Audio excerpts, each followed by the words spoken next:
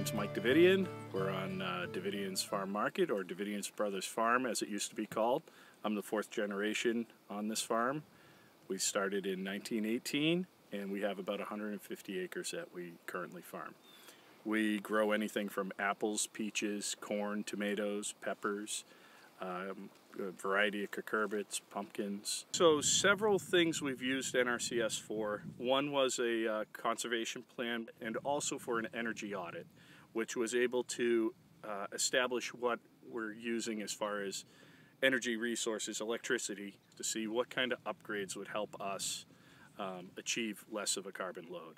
We have a 40 by 40 cooler that we store all of our apples, corn, uh, peaches in and we use that throughout the summer as we pick we put them in there and then they get ready for market so our mechanicals of the cooler and also the insulation are very old they were from the 60s so things weren't working efficiently well first we came up with an energy plan the state helped us facilitate some of the mechanicals of, of upgrading and NRCS helped us kind of facilitate the rest. They helped us with the insulation and some additional mechanicals.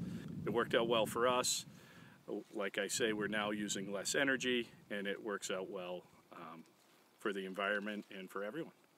I've worked with Mike Davidian now for about three years. Um, he approached us regarding cover crops and um, soil health practices and it's been wonderful to work with Mike because each year he has really tried to progress further and further in what he can do to benefit him and his operation. We're in our uh, cornfield.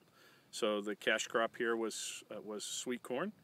And once the sweet corn's off, we use a variety of cover crops to help keep the soil active and help um, stabilize nutrients inside our soil.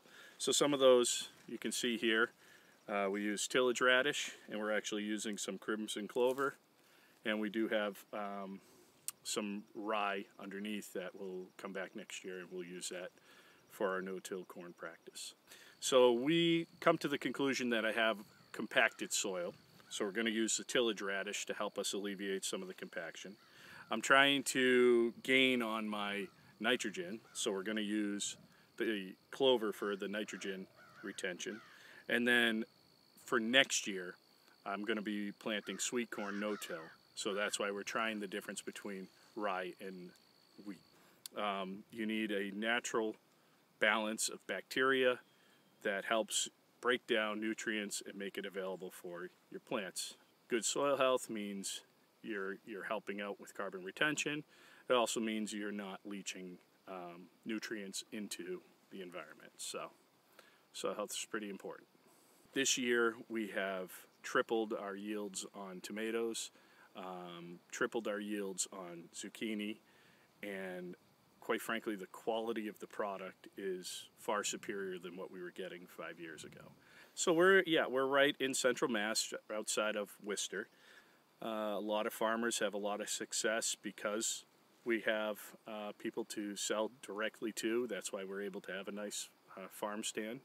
Boston is only 45 minute drive, so the demands for quality product are really high.